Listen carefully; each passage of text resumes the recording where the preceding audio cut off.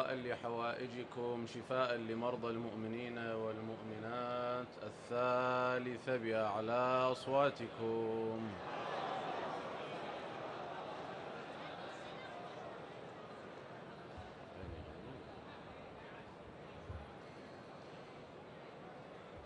بسم الله الرحمن الرحيم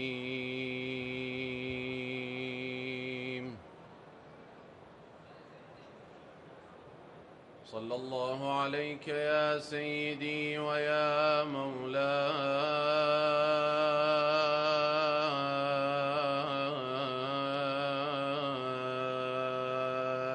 يا أبا عبد الله. الصلاة والسلام عليك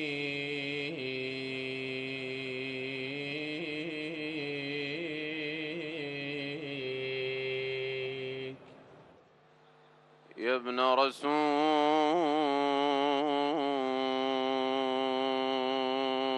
الله يا عبرة كل مؤمن ومؤمنة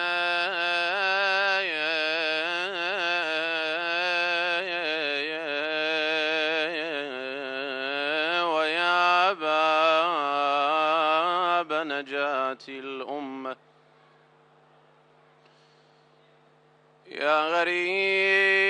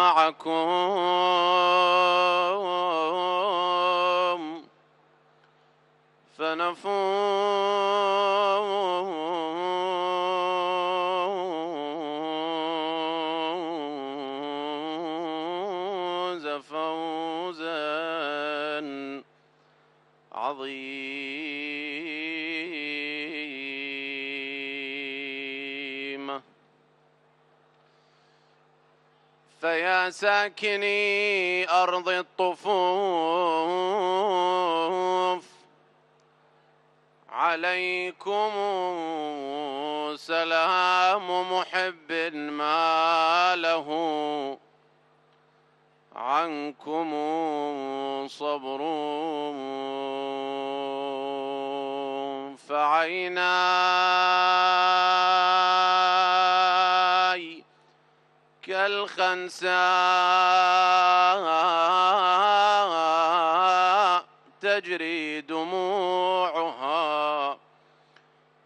وقلبي شديد في محبتكم صخر فذلي بكم عز وفقري بكم غنى وعسري بكم يسر وكسري بكم جبر.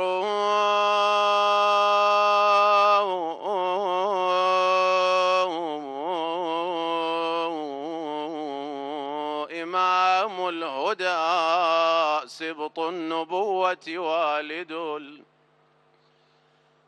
الأئمة رب النهي مولى له الأمر.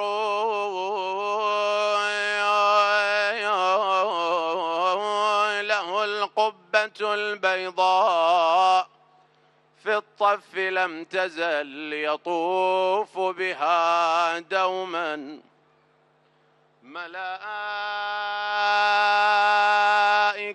غرور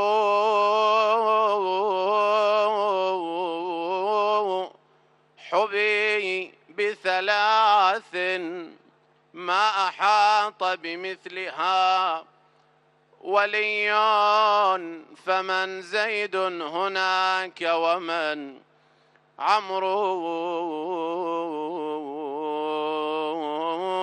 له تربة فيها الشفاء وقبة يجاب بها الداعي إذا مسه الضر وذرية درية منه تسعة أئمة حق لا ثمان ولا عشر. وين تريد توصل يا شاعر.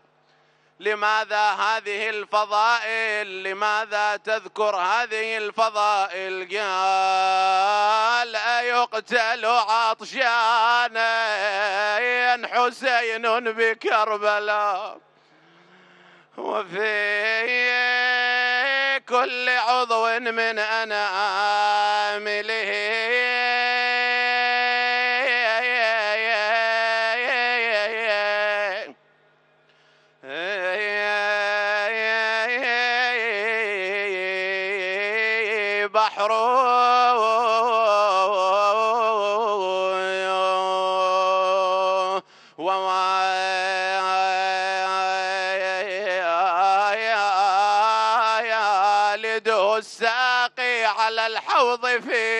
غد وفاطمة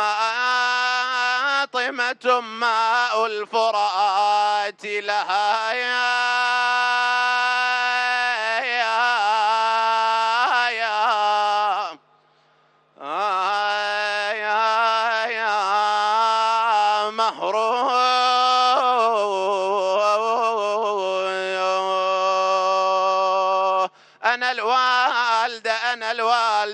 والقلب لهفايان وأدور عزبني وين ما كان. والله أنا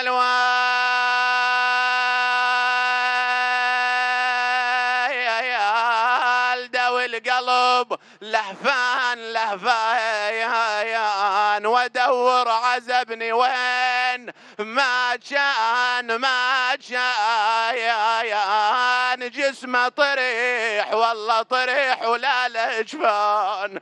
وأيالي ولعبت عليه الخيل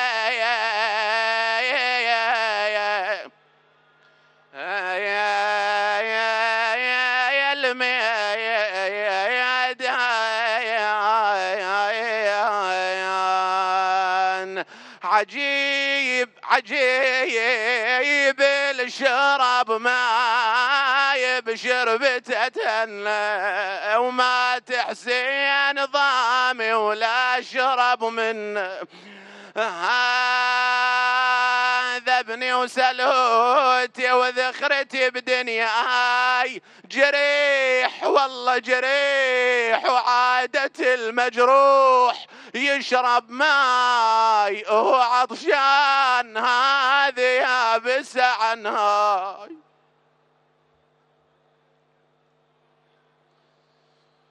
لا حول ولا قوة إلا بالله العلي العظيم.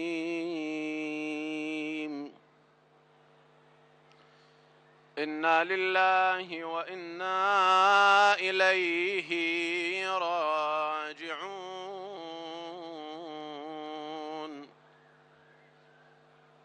وأفوض أمري إلى الله. إن الله بصير بالعباد. بسم الله الرحمن الرحيم. يا أيها الذين آمنوا استجيبوا لله وللرسول إذا دعاكم لما يحييكم. قبولا لأعمالكم عطروا أفواهكم بالصلاة على محمد وآل محمد.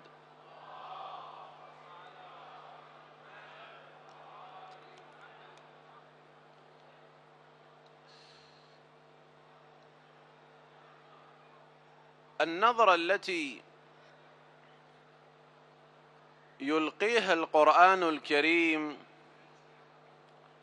على المفاهيم غالبا تختلف عن النظرة التي تجدها عند العرف وعند سائر البشر.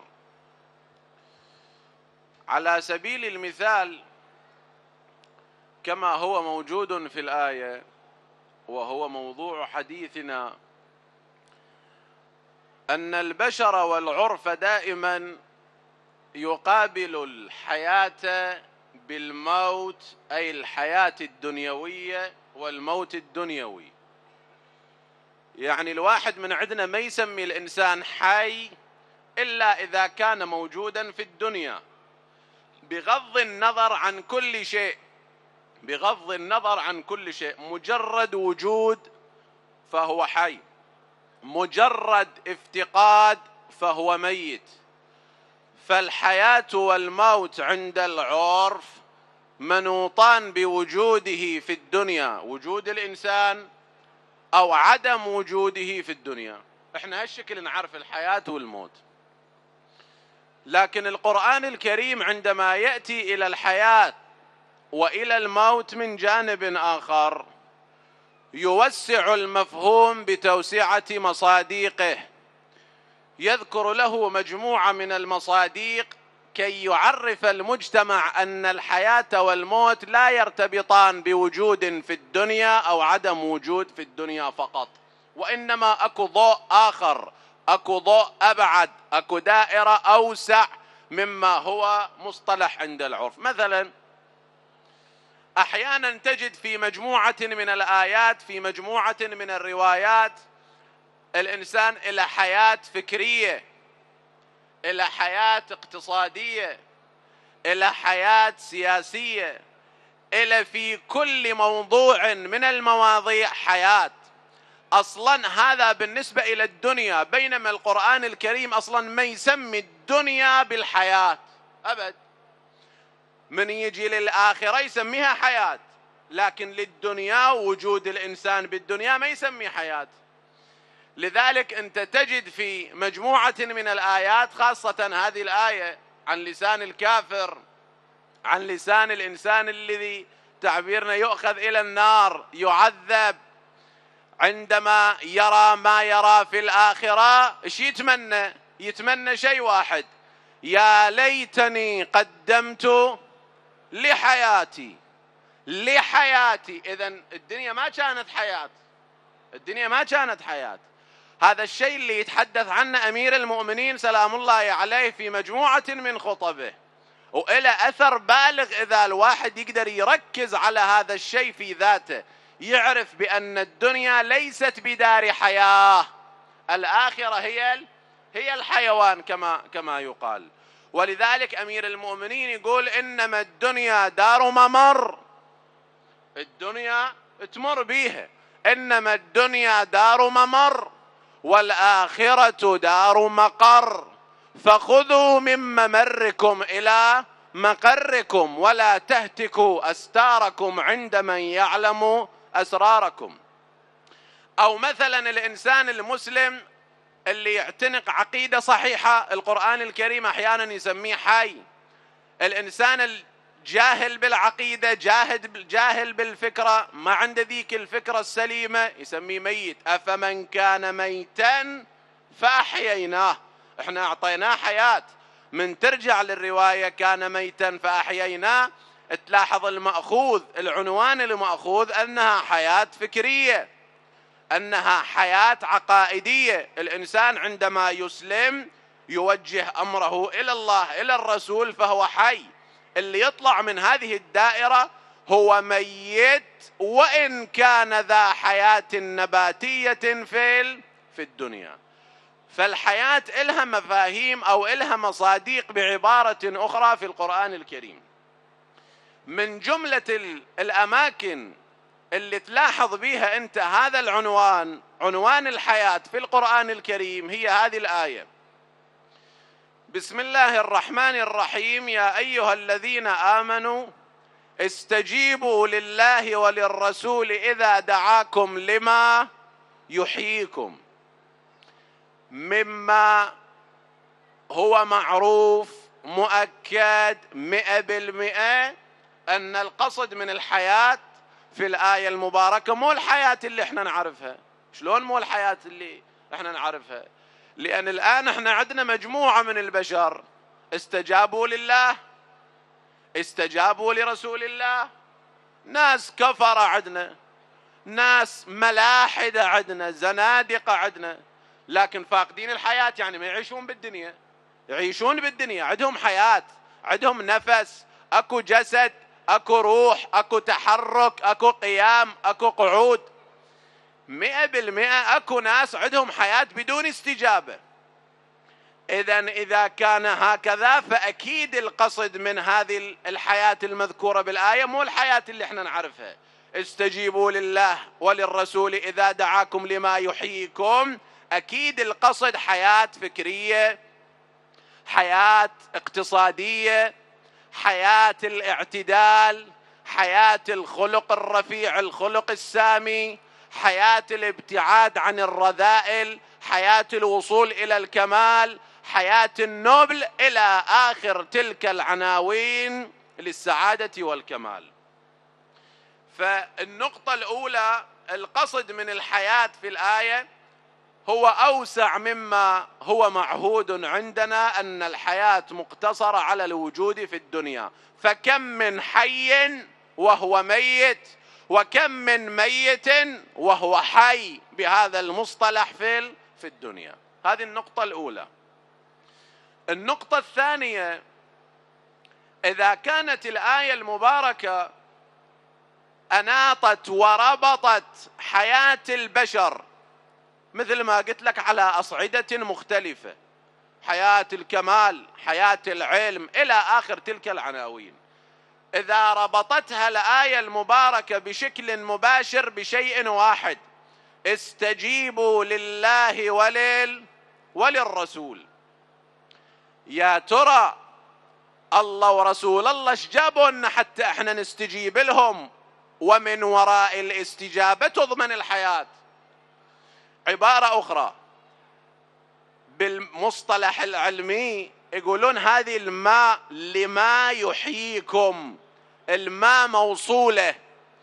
والماء الموصولة لازم تفسر. هذه لما يحييكم. شنو هو هذا اللي يحيي؟ إحنا نستجيب لله ونستجيب لرسول الله. لكن الشيء اللي يحييه شنو هو؟ الله ورسول الله ندبونا لشيء. القرآن الكريم ما يعبر عنه بس يقول عنه لما ما يعبر عنها بالماء استجيبوا لله وللرسول إذا دعاكم لما. شنو هو الشيء؟ إحنا إيش لازم بتعبيرنا نشوف من الله ورسول الله حتى نقلهم سمعا وطاعة حتى نستجيب لكلامهم حتى نضمن لنفسنا الحياة في الدنيا وفي الآخرة على مستويات مختلفة. شنو هو؟ انطلاقا من هنا اختلفت كلمة المفسرين على آراء. على آراء. نذكر بعضها بس حسب الوقت. أول رأي استجيبوا لله وللرسول إذا دعاكم لما يحييكم. لما يحييكم أي القرآن الكريم. الشيء اللي يضمن حياة الإنسان المادية وحياة الإنسان المعنوية ليس هو إلا القرآن الكريم فقط. هسه القرآن الكريم شنو بي؟ القرآن الكريم عبارة عن القوانين الإسلامية. الدين الإسلامي يشكل من نظرية ويشكل من تطبيق. تطبيق عند أهل البيت.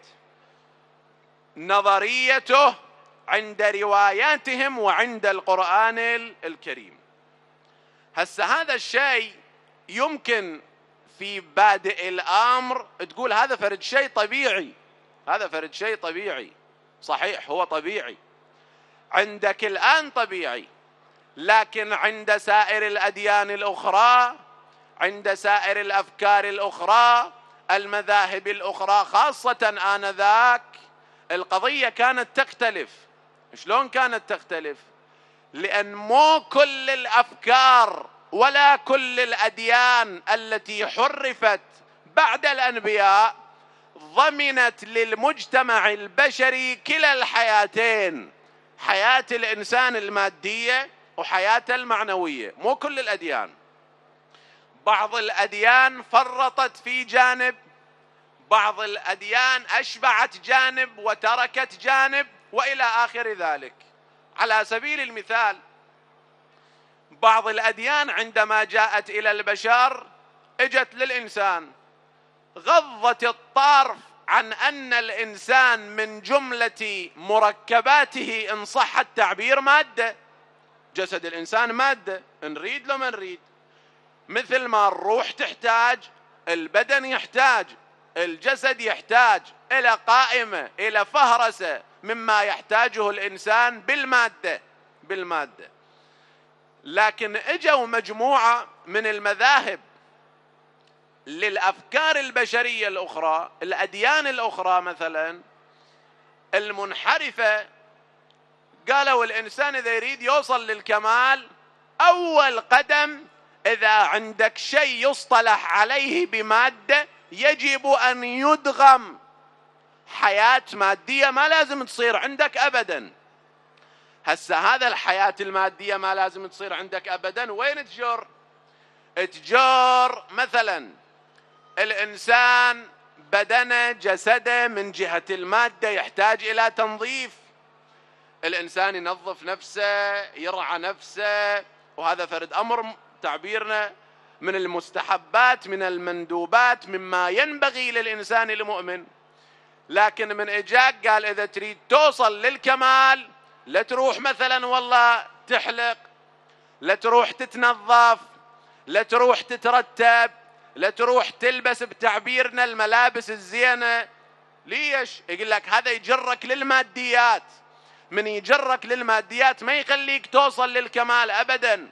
ولذلك في بعض الكتب يذكرون إذا واحد من عندهم وصل من القذارة المادية إلى درجة حتى بتعبيرنا يطلع به القمل كما يقال. يقمل راسه يقمل. هذه القملة يسمونها جوهرة القدس. كأنما درجه رفيعة وصل لها. من الكرامة من المنزلة.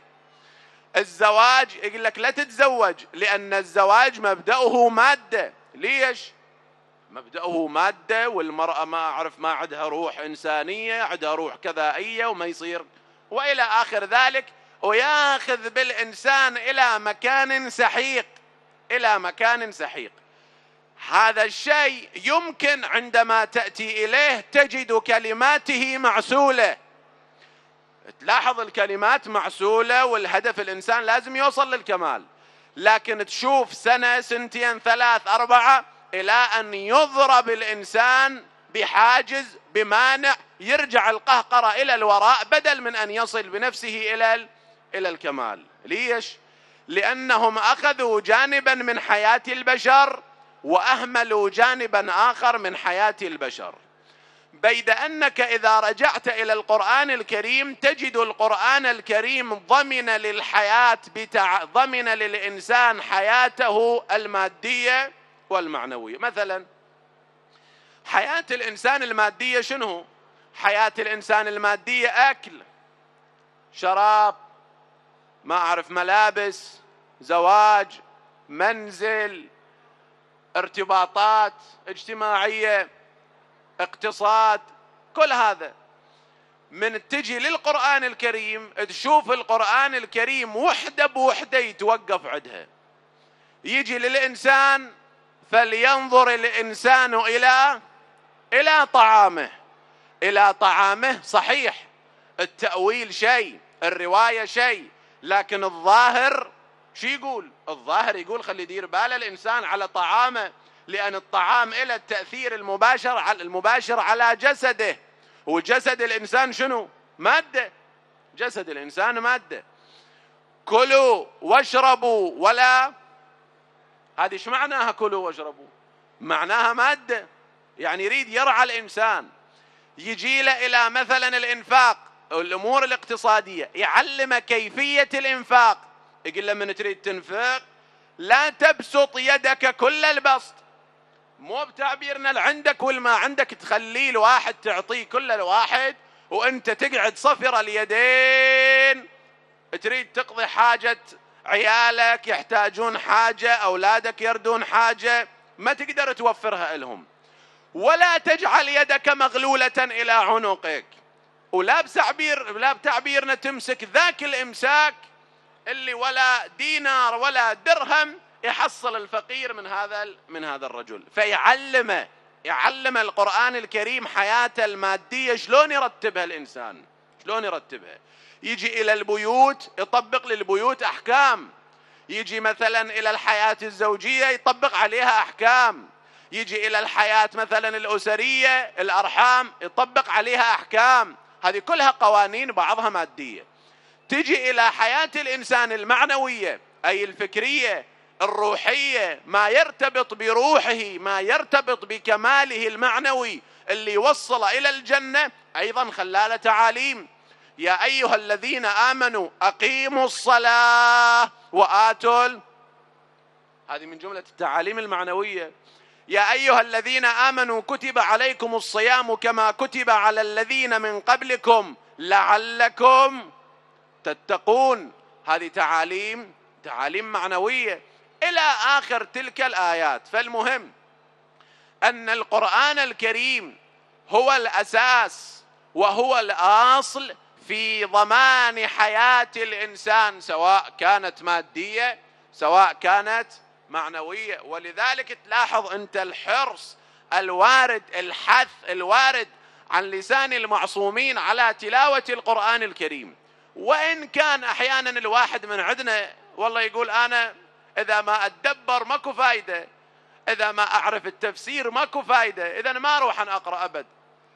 هذا شيء مطلوب. لكن إثبات الشيء لا ينفي ما عداه كما يقال.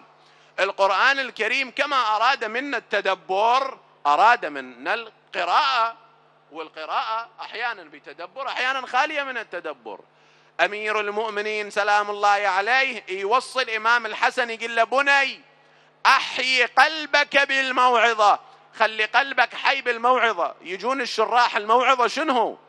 الموعظة مو هذا الكلام اللي أنا أقدمه لواحد وما تدري بي. هذا الكلام صحيح لو مو صحيح؟ الله العالم. الموعظة القرآن الكريم. لأن من جملة أسماء القرآن الموعظة. احيي قلبك بال بالموعظة. فالنظرية الأولى أن حياة الإنسان منوطة بارتباطه واستجابته لأوامر القرآن من قبل الله وعلى لسان الرسول محمد صلى الله عليه وآله.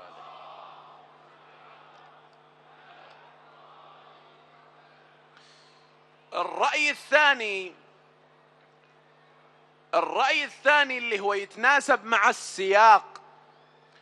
السياق اللي تلاحظ به الآية هو سياق يحث الناس على الجهاد يطلب من عندهم الجهاد. فالبعض استفاد من هذا السياق أن الإنسان إذا أراد أن يضمن لنفسه حياته يجب عليه أن يجاهد. هسه الجهاد إلى أنواع. مرة يصير الجهاد على مستوى ميدان قتال. وهذا الشيء بزمن النبي كان. أكو ناس إذا أراد النبي صلى الله عليه وآله أن يخرج إلى الجهاد وما أكو بتعبيرنا راحلة ما أكو فرس ما أكو دابة يركبون عليها يطلعون ويا النبي يجون للنبي وهم يبكون. يبكي. يتحسر اللي ما يقدر يطلع يجاهد. لكن اكو بعض الناس لا اذا دعاهم النبي إلى الجهاد مرة يعبر عنهم القرآن الكريم إذ ثاقلتم إلى إلى الأرض. ما يرضون. واحد يقول لا تنفروا في الحر واحد يقول شيء ثاني ما يقبل ولذلك اجت الآية تحثهم تقول هذا الجهاد ضمان للحياة ضمان للحياة. هسه إذا كان الجهاد على مستوى ميدان فهو حياء للقرآن الكريم يعبر عن الشهداء أحياء ولا تحسبن الذين قتلوا شنو هم؟ هم أحياء أمواتا بل هم أحياء. فهم أحياء من جانب. من جانب ثاني من تريد تنظر للقضية تلاحظ القضية إذا تريد تجيبها كمعادلة مع ذلك الجهاد أفضل من القعود. شلون؟ هذا الشيء اللي أخذ المتنبي. المتنبي عند بيتين يذكر بهن الجهاد. يقول هاي الحياة إذا أبدية إحنا جايبيننا للدنيا حتى نظل دهر الداهرين أبد الآبدين. فصحيح الجهاد أمر تعبيرنا هذا مو كل واحد يقبله لأن الإنسان يقدر يبقى بالدنيا وينعم في الدنيا ويأكل ويشرب ويتلذذ. وليش يروح يقتل نفسه ممكن أن يستشهد ويطلع من الدنيا على اليمن؟ خليه يبقى بالدنيا. لكن إذا إحنا مية بالمية راح نطلع. بس ما ندري. الآن باكر سنة سنتين المهم راح نطلع. إذا راح نطلع ليش بتعبيرنا ما نطلع بعزة وكرامة؟ ولو أن الحياة تبقى لحي لعددنا أظلنا الشجعان. ولو لم يكن من الموت بد فمن العار أن تموت جبانا. لذلك أمير المؤمنين شي يقول؟ أمير المؤمنين يقول لألف ضربة بالسيف. لألف ضربة بالسيف أهون علي من ميتة على فراش. أتقطع وصلة وصلة ولا أموتا على على فراشي. وهذا الشيء اللي أراده وصل. لذلك عندما ضربه ابن ملجم لزم رأسه بكلتا يديه وقال لقد فزت ورب. ورب الكعبة. فالجهاد مرة هكذا. مرة الجهاد يكون لا جهاد بالقلم. مرة يكون الجهاد لا يكون باللسان. مداد العلماء أفضل من دماء الشهداء تقول الرواية. فهذا نوع من الجهاد. فالجهاد له تقسيمات مختلفة. ولذلك أنت تلاحظ بعض الناس سجلوا لهم مفاخر سجلوا لهم فضائل في التاريخ. لكن ما حملوا سيف ما قاتلوا جاهدوا لكن لم يجاهدوا بأسنة ولا برماح جاهدوا بكلمات. دعبل الخزاعي يقول أنا أربعين سنة أربعين سنة قرابة نص قرن أحمل خشبتي على عاتقي. أي خشبة؟ الخشبة اللي المفترض هو يصلب عليها راح يقتل ويصلب عليها أربعين سنة. وهو ملاحق أحيانا من مكان إلى مكان من بلد إلى بلد. شنو السبب؟ السبب أنه شاعر. السبب أنه شاعر. إيش يذكر بالشعر؟ يذكر فضائل أهل البيت ومثالب بني العباس وأعداء أهل البيت. هذا جهاد. الفرزدق سجل تاريخ طويل عريض من البداية بكلمات الفرزدق. ما كان إلا ذاك التأريخ النظيف من البداية. لكن وقف له موقف. بس هذا الموقف الواحد. والحياة هي موقف. الدنيا هي موقف. الفرزدق عند الخليفة الأموي. وإجا راد يلتمس الحجر ما قدر. الحاج والزحام والزحمة الموجودة ما قدر. تنحى إلى جانب حتى يخف الزحام يروح. لحظات دخل الإمام زين العابدين سلام الله عليه. إذا الخليفة الأموي إلى خدم وإلى حشم دخل الإمام زين العابدين عليه ملابس متواضعة وبوحدة وحدة. لا ورا ولا قدام. دخل فانفرج الناس له سماطين. التمس الحجر أدى الطقوس وطلع. الخليفة الأموي مو ما يعرفه هو عدوه يعرفه. لكن أراد أن يعتم على الغير حتى لا يشهدوا له بهذه الفضيلة. قال من هذا؟ منو هذا؟ هذا اللي اجا والناس هالشكل تغيرت أجواءهم إلى من هذا؟ قام له الفرزدق. بقصيدته العصماء يا سائلي أين حل الجود والكرم؟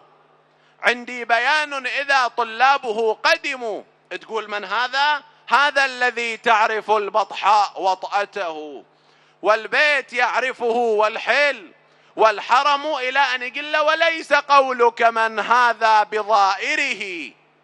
العرب تعرف من أنكرت والعجم. سجن للفرزدق. ودال الإمام زين العابدين وصل مقدار من الأموال. قال له سيدي ومولاي ما مدحتكم للدنيا. الأمور بخواتيمها. الخاتمة مهمة. قال له ما مدحتكم للدنيا. أنا لو أريد الدنيا أدري وين أحصلها. قال له خذها فما خرج من أيدينا لا يرجع إلينا. وإلى الآن الفرزدق وأبيات الفرزدق تذكر. وجب ما كان قبله. بشنو؟ بجهاد. لكن بجهاد الكلمة. فالجهاد بالكلمة الجهاد بالجاه الاجتماعي الجهاد بال بالقلم الجهاد بالعلم الجهاد بال بالفكر الصحيح. الجهاد إلى بتعبيرنا. الأمر بالمعروف النهي عن المنكر هو قسم من أقسام الجهاد. فالرأي الثاني لما يحييكم أي الجهاد.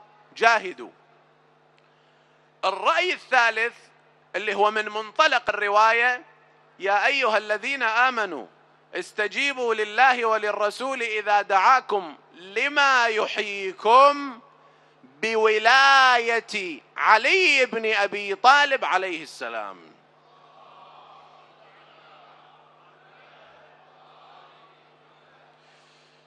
وهذا فرد معنى واضح. وبين وأجلى وأوضح من الشمس في رابعة النهار كما يقال. أمير المؤمنين هو سر حياة الإنسان ما شئت فعبر عنها. شنو اللي يريد هذا الإنسان بحياته في الدنيا في الآخرة؟ اللي يضمنها أمير المؤمنين وأهل البيت. سلام الله عليهم أجمعين. ولذلك تلاحظ الرسول صلى الله عليه وآله سعى أن يذكر لأمير المؤمنين اوصافا كي يشد المجتمع البشري أكثر وأكثر بأمير المؤمنين سلام الله عليه. هذا الشيء اللي الزهراء سلام الله عليها ذكرته بالخطبة اللي لو كان الأمر لأمير المؤمنين لسار بهم سيرا سجحا. تعبيرنا الطريق واضح. والمسير يكون مسير لا وعر مو وعر صافي مستقيم إلى الجنة مستقيم إلى الكمال. ولذلك يقوم الرسول صلى الله عليه وآله ما بين المجتمع وأمام الناس. يخاطب أمير المؤمنين يقول له يا علي لولا أني أخشى الناس أن تقول فيك ما قالت في المسيح عيسى ابن مريم لقلت فيك قولا لا تمر على ملأ منهم إلا وأخذوا التراب من تحت قدميك. وهذا الشيء كانوا يشهدونه يصيح علي أشجعكم علي أفقهكم علي أعلمكم علي أقضاكم علي علي علي إلى آخر تلك الروايات. بس حتى الناس تعرف قدر أمير المؤمنين سلام الله عليه. وترتبط به أكثر وأكثر. لكن هذه الأوصاف عند البعض تغيرت.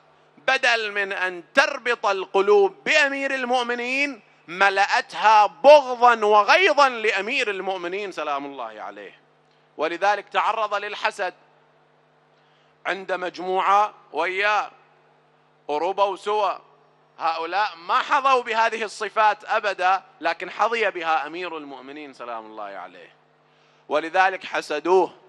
حسدوا الفتى إذ لم ينالوا فضله. فالناس أعداء له وخصوم كضرائر الحسناء. قلن لوجهها حسدا وبغضا إنه لذميم. وهذا الحسد والبغض أين أفرغ؟ وين خلوه؟ وين تلاحظ هذا الحسد والبغض متبلور؟ تجده قد أفرغ على رأس ولده سيد الشهداء أبي عبد الله سلام الله عليه. الحسين سلام الله عليه يوم الطف أبلغ بالغ في النصيحة. يقف على الميمنة ينصح يعظ على الميسرة كذاك في القلب كذاك. وهو ينصح وهو يوعظ وهو يخطب. من بعد ذلك يقول لهم لماذا تقاتلونني؟ أعلى حلال حرمته أم على حرام حللته؟ أنا جايب بدعة أنا إنسان مبدع بالدين لماذا القتال؟ يجي جواب واحد. يا حسين نقاتلك بغضا منا لأبيك علي بن أبي طالب. بغضا منا لأبيك علي بن أبي طالب. وبالفعل قاتلوه لكن شنه من قتال؟ بعدما انتهت الدور من دور النصيحة ودور بتعبيرنا الخطب والموعظة انجبر أن يقاتل. لكن سلام الله عليك يا أبا عبد الله. أنت تصورها وأنت بمحضر الحسين. أيام الحسين ما شارب ماي. ومن جانب آخر مصائب. ومن جانب آخر حر ودرع وقتال تعب الحسين سلام الله عليه. وقف يستريح. وقف يستريح شوي حتى يباشر الموقف مرة ثانية. لكن ليتك لم تقف يا أبا عبد الله. ليتك باشرت الموقف ولم تقطع أبدا. وقف يستريح. روايتين أذكر رواية. وهو واقف مر عليه رجل فرمى جبهته بحجر. لما أصاب الحجر جبهة الحسين بطبيعة الحال سألت الدماء. سالت الدماء من جبينه على لحيته. رفع الحسين قميصه ليمسح الدم. يا أبا عبد الله لما رفع القميص اغتنمها حرمله فرصة وسدد ذاك السهم. إحنا عندنا نبلة وعندنا سهم. هذه ما تذكر ولولا هذا المقام ما ذكرتها. لكن كونا أن بجواره راح أذكرها. حتى أكثر تستدر الدموع. إحنا عندنا نبلة وعندنا سهم. النبلة الإنسان يقدر يتعامل وياها أحسن ليش؟ لأنها قصيرة. لكن السهم سهم طويل. إذا نبت بمكان من الصعب أن تستخرجه. الحسين أصيب بسهم. وبعد هذا السهم مثلث. لا يخرج من حيث دخل أبدا بينما هو منشغل بنفسه وإذا بذلك السهم المثلث قد نشب بقلبه سلام الله عليه. الحسين هاي الكلمة ما تلاحظها إلا هنا. قاتل إن قتلوا أصحابه وأولاده هذه الكلمة كلش ما تحصلها. إذا تريد الجواب عن هذا السؤال بهذه الكلمة ليش الحسين سقط؟ شنو اللي طيح الحسين؟ سلام الله عليه يجيك الجواب.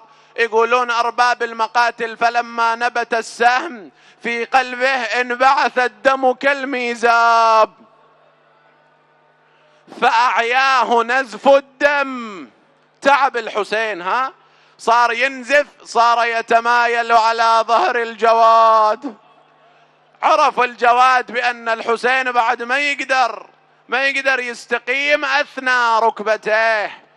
أثنى ركبتيه. هنا بعد ما تنقال الحكاية إيش صار بالحسين؟ السيد رضا الهندي يقول يقول فهوى العرش للثرى ودلهمت برماد المصاب منها النواحي. السيد الحل شي يقول يقول غريبا غريبا أرى يا غريب الطفوف. غريبا أرى يا غريب الطفوف. توسد خديك كثبانها يا تريب المحيا تظن السماء. بأن على الأرض كيوانها يا شال. والله شال حسين ثوبه يمسح الدم. ولا يا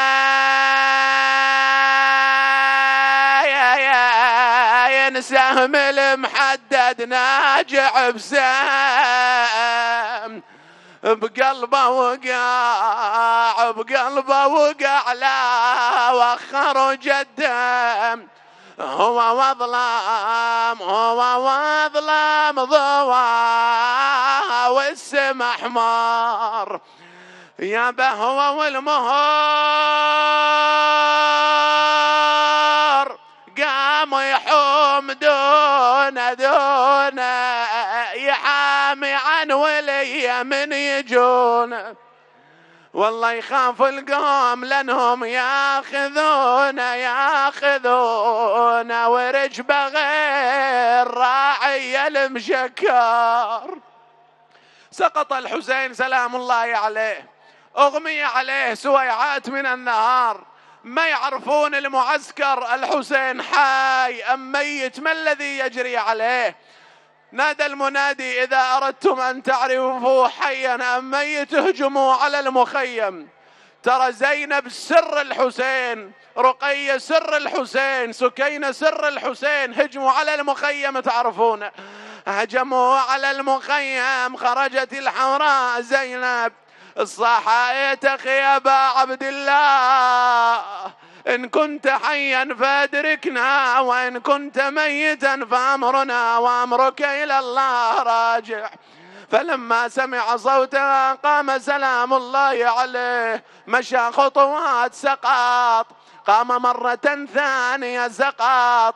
قام مرة ثالثة وصل إلى قوس الراكع كبا على حر وجه رفع يده مناديا اقصدوني واتركوا حرمي. تربع على واهجة الأرض على واهجة الرمضة. ونادى المنادي اقصدوه. هذا البيت وأسألك الدعاء. احدقوا بالحسين هذا يضربه بسيفه. وهذا يطعنه برمحه. دار العسكر على حسين يا حف ناس بالرماح وناس بالسيف.